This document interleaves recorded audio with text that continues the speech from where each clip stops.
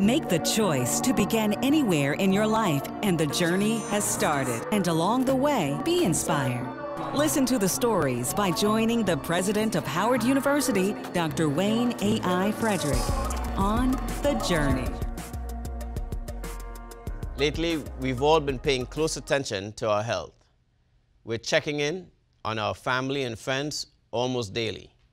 We cannot forget about these loved ones especially those who have ongoing treatments that started before this pandemic. This afternoon, we're speaking with a breast cancer survivor and patient.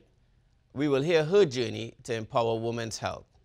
Hello, my name is Dr. Wayne Frederick, and my guest today on the journey is my surgical oncology partner and friend, Dr. Lori Wilson.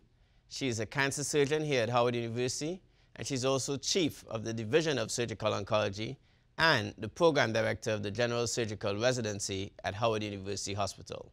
Welcome, Thank Dr. Wilson. Thank you so much for having me. Good. So first, let's start with um, where you were born. Uh, um, obviously, when both of us met, one of the things that I was fascinated by is the fact that uh, as an American citizen and, and the daughter of a service member, mm -hmm. you were actually born out of the country. I yes, I was. And and so tell tell us where where was that and what was that like?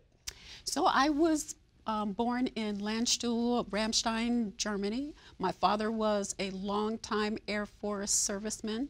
He retired out of the military after 35 years of service.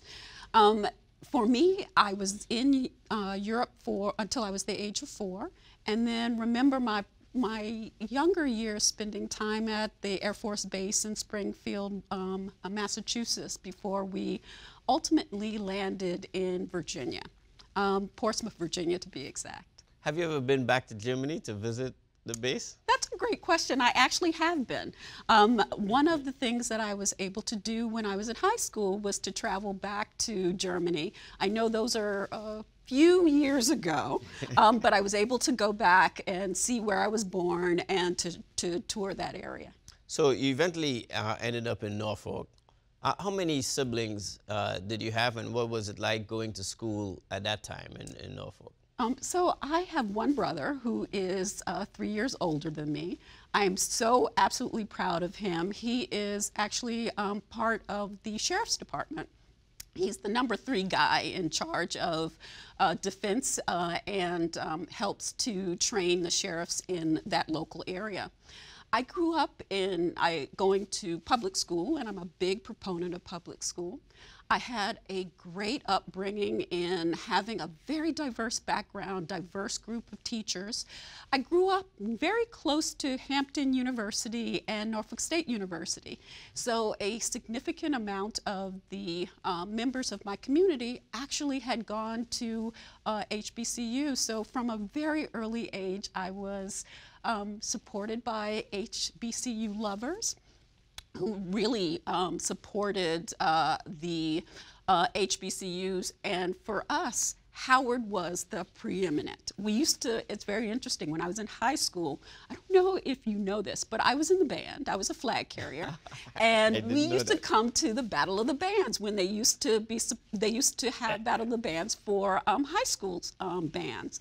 And I remember the trips that we used to come to DC and to come to Howard and to come to the games. Phenomenal and was one of the reasons why I thought coming to DC was going to be so important to me. Now, in high school or sometimes in middle school, stu students have a, an experience either with a teacher or a project or a class that really says, you know what, uh, this is where I want to be. And as far as those dreams may have been away from that seven-year-old Lori Wilson, what in high school or, or in that middle school experience really made it clear for you that this is what you were going to do? And then as you answer that, why Georgetown at the time? What led you to Georgetown University? Sure. Um, I would say that um, the experience, and it's an experience that I sort of look back on, but I took for granted when it was there. I actually had a PhD who taught my biological science class when I was in high school. And when you think back now, um, her name was Dr. Saunders. And the fact that I actually had someone who was a PhD doctorate who was teaching my, my high school class was completely lost on me at the time. But the fact that there was such excellence in our um, midst and they were people who reflected in my community, who looked like me, who did it with such ease. And then um, I, I, would have to say that um, when I decided to go to uh, college, I decided that I wanted to make sure that I wasn't too far away from, from home because I wanted to be able to drive back and forth just in case I needed a meal or I needed my laundry done but I didn't want to be too close. So right. three hours away um, and, in D.C. And at that time, D.C. was um, a very um, unique, rich, um, and still is, rich community that had um, my best friend who actually went to Howard. And so um, I wanted to come to, to DC because it was very familiar, but Georgetown gave me an opportunity to have some different experiences and ultimately um, became my home not only for undergrad but for medical school as well. Right. And obviously, being in DC uh, at Georgetown, you then decided that you wanted to pursue a general surgical residency. Mm -hmm. And, and that's where uh, we met. We were both interns together. Uh, why Howard um, Hospital's general surg surgical program? And did you have an experience uh, during your years at Georgetown that made you feel that this was the right place to come and do your, your surgical residency? And you know, I, I, am, I am definitely grounded in a very spiritual belief that your order, your steps are ordered. And I um, think back on these very pivotal moments in my life that if I had missed those moments, my life could have been totally different. So I think back to being um, in my third year um, of medical, my fourth year medical school, I was in the library studying. And one of my friends came by and said, You know, there's this lecture that's going to be given by a surgeon who's coming from Howard. And I was like, Oh, should I go? Should I not go? I haven't quite finished my module yet. But long story short, I decided to go. And that person that I met that moment was Dr. LaSalle Leffall.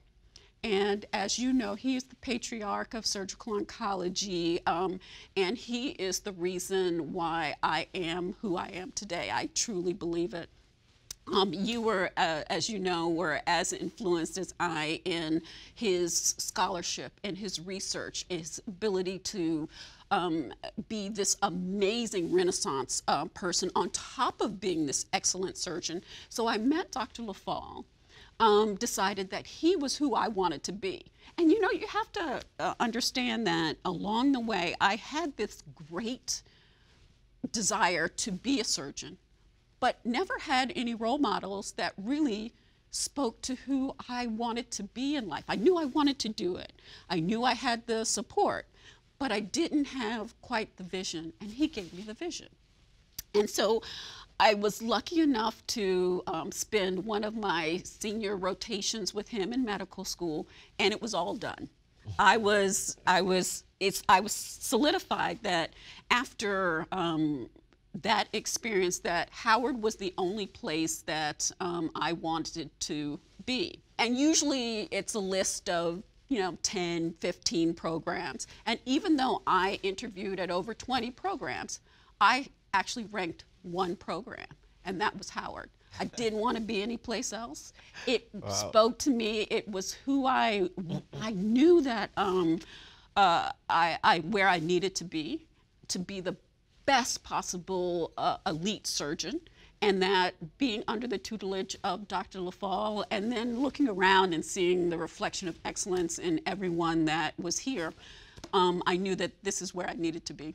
So subsequent to your general surgical residency, you decided to do pursue surgical oncology as a Dr. Leffall, and so you went out to the John Wayne Cancer Center with uh, probably some of the breast breast surgeons uh, in the world who, in, in many ways, um, have kind of written the books mm. on some of what we do today in terms of standard practice. And so that obviously gave you a, a significant uh, level of interest in breast cancer.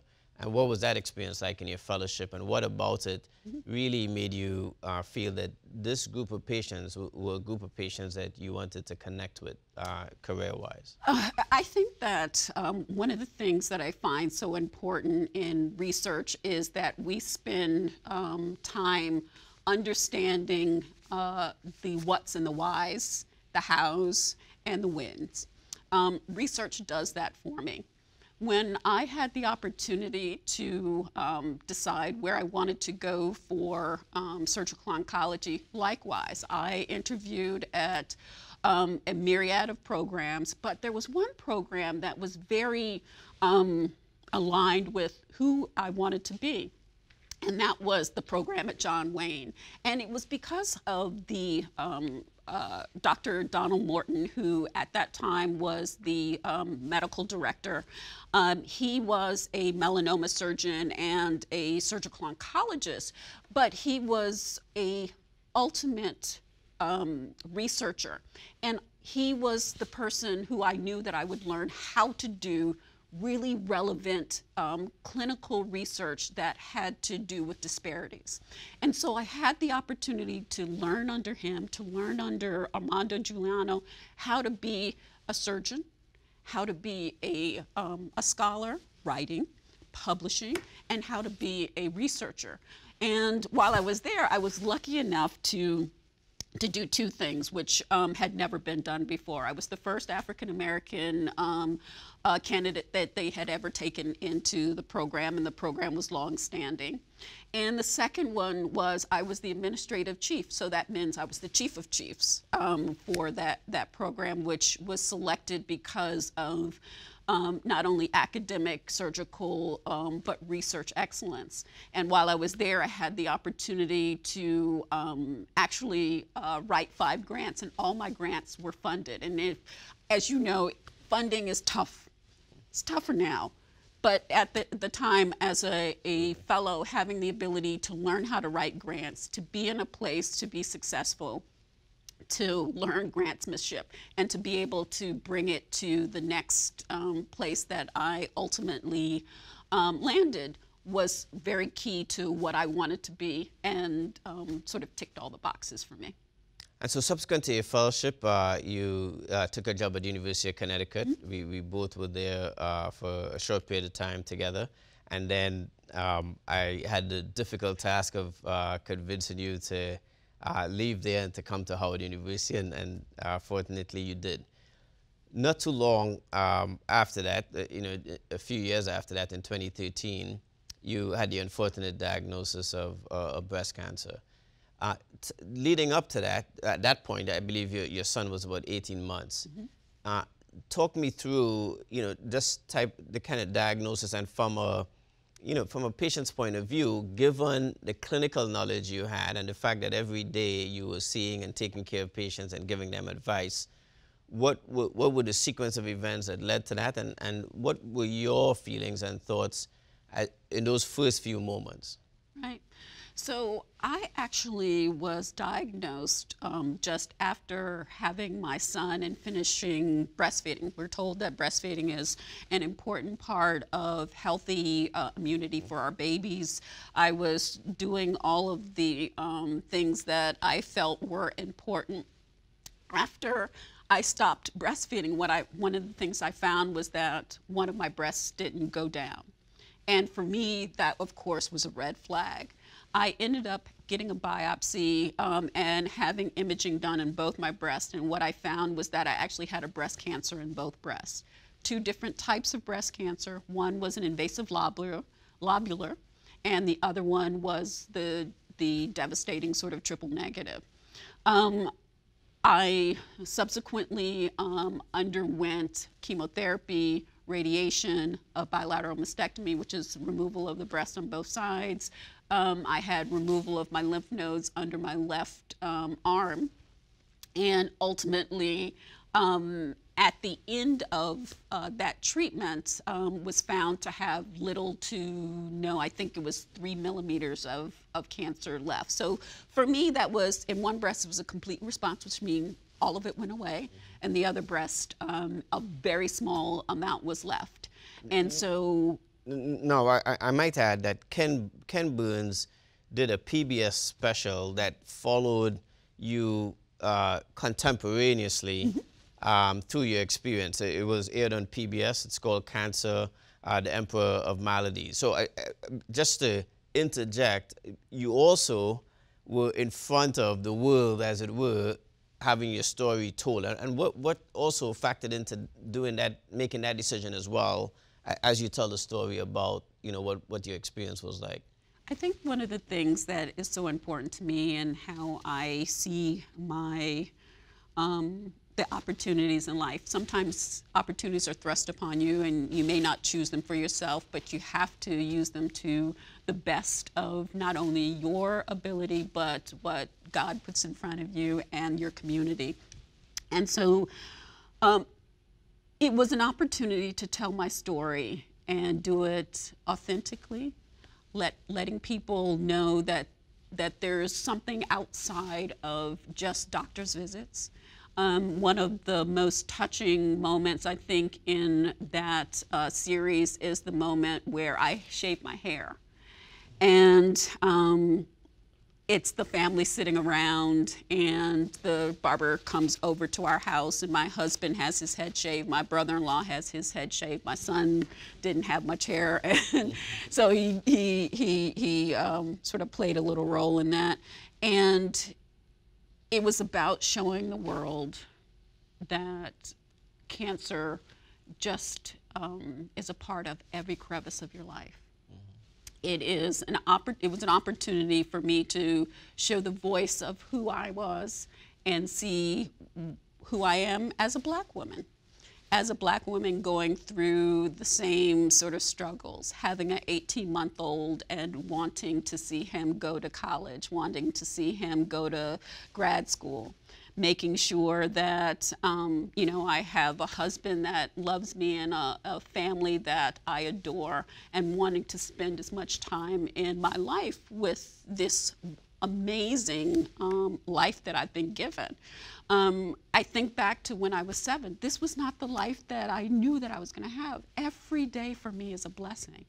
Um, I have amazing friends like you. I have amazing opportunities to travel and to speak and to give my opinion and to also give the perspective of voices of people who don't oftentimes have the opportunity to have a voice. And um, in my role as a surgical oncologist, you know, God, you know, I, I have a diagnosis that I understand very well.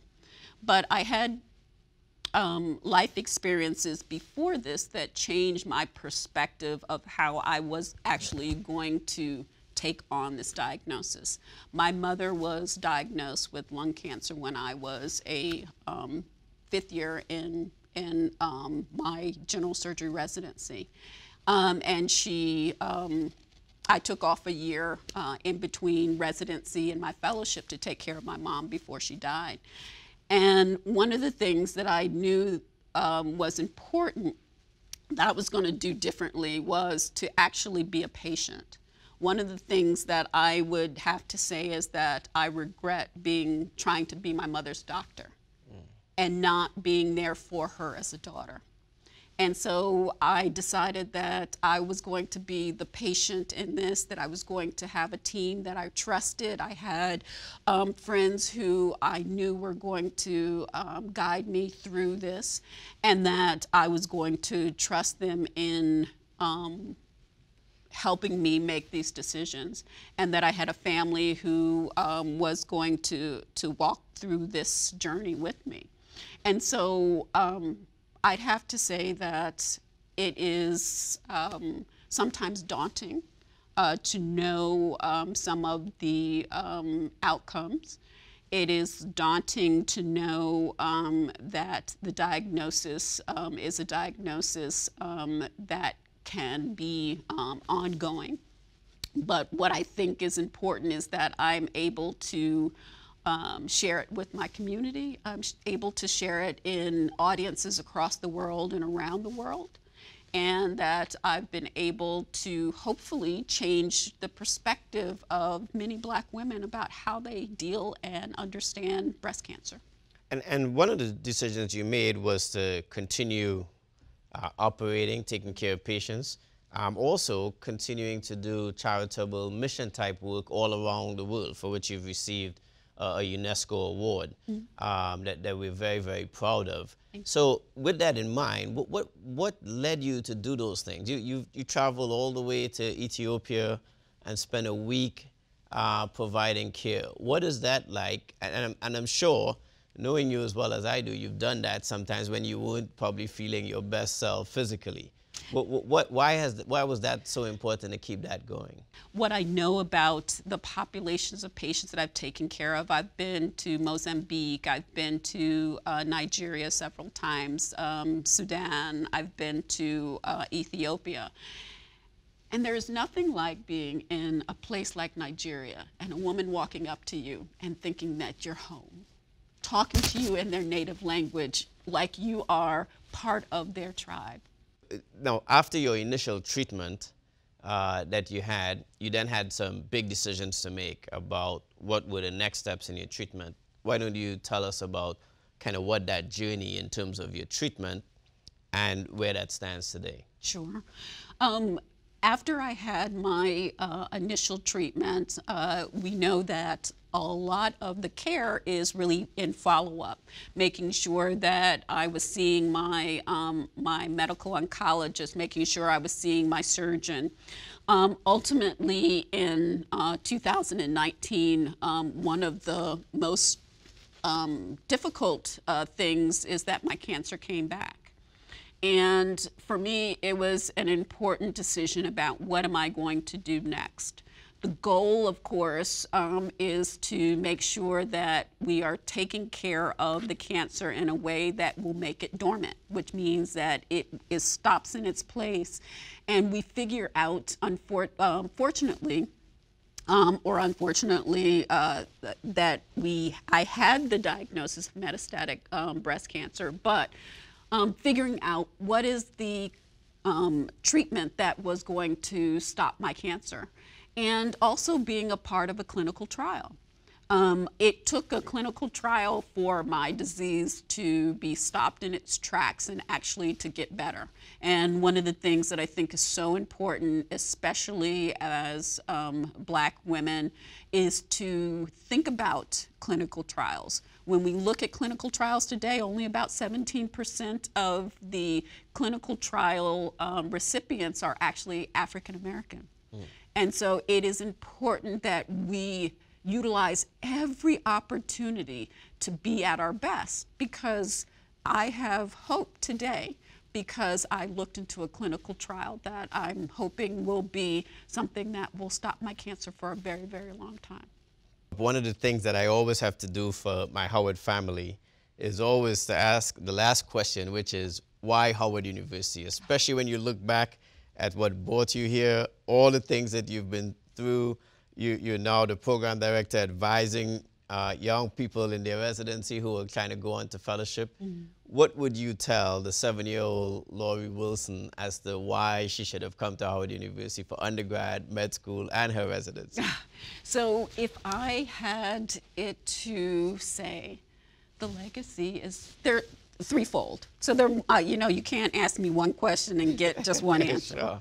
But the legacy, the fact that I can be connected to surgeons such as Dr. LaSalle Fall, Dr. Burke Syphax, Dr. William Vittori, um, Dr. Charles Drew, and that I can change, um, actually connect my lineage in my uh, uh, surgical career to those amazing surgeons knowing that their technique is passed down to me and that uh, in a small way, I'm able to pass that down to the uh, next generation of leaders.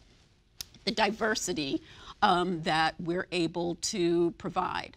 I have a diverse group of people that are around me that challenge me, like you. You know, you challenge me, you give me opportunities to, um, to push past what my um, what I think are my my potential weaknesses and to show me that there are strengths that I never thought I I, I would have. And I I would have to say number 3 my voice. Though I'd have to say that my education, I'd ha um, I had a tremendous education in medical school and in undergraduate. My voice I developed here at Howard. The fact that I am the woman I am today is because the people who listened to me and thought that just because I was in the room, that I was valuable, that everything that I had to say had nothing to do with my pedigree, had nothing to do with where I was from. It had everything to do with Lori. Lori, did you did you did you prepare for this case today. Are you are, let me show you what um, the next steps of this procedure is. Let me tell you how this should be. And then ultimately, my very last, um, if I could tell this story, my very last case was with one of our longtime loving um, uh, cardiothoracic surgeons, Dr. Oswald Warner.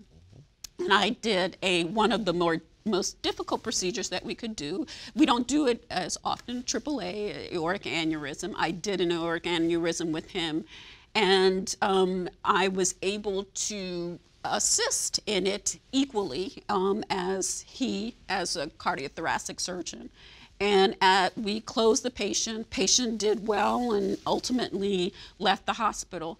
But what he did was to, he was like, come with me he took me to the next room, and Doctor, um, one of the um, senior surgeons was in the room, and he said, I want to tell you how phenomenally she did today on this case.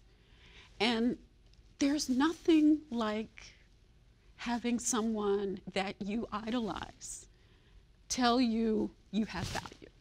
And so I'd have to say that there are many reasons why I, I've come to Howard. The fact that I'm part of a legacy, the fact, fact that I have a voice, and the fact that I have the ability to be parts of of wonderful stories and to help the next generation of young people um, do their thing. But Howard, there's no place like it.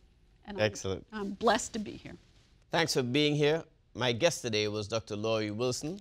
She's a surgical oncologist, chief of the Division of Surgical Oncology, and the program director of the General Surgical Residency at Howard University Hospital.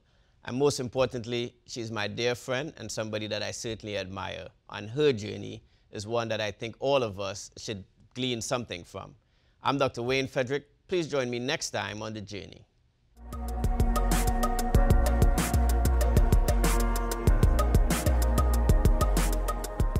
This program was produced by WHUT, Howard University Television, and made possible by contributions from viewers like you. Thank you.